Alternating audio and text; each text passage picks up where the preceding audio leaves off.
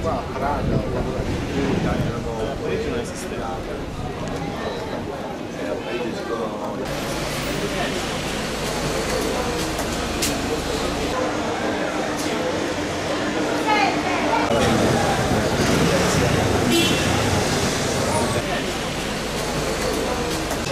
Quindi il colore dove si mettesse è un cioccolino.